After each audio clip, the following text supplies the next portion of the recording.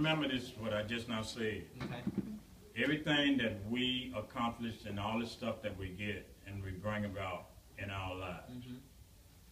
One thing that we've noticed in any burial site, in any burial site, from the ancient burial sites of Africa all the way to the to the more elaborate burial sites, from the Babylon period, the Roman period, of any other period of the the hierarchy period, or period, or period, or period. None of those people could carry none of their accomplishments with them.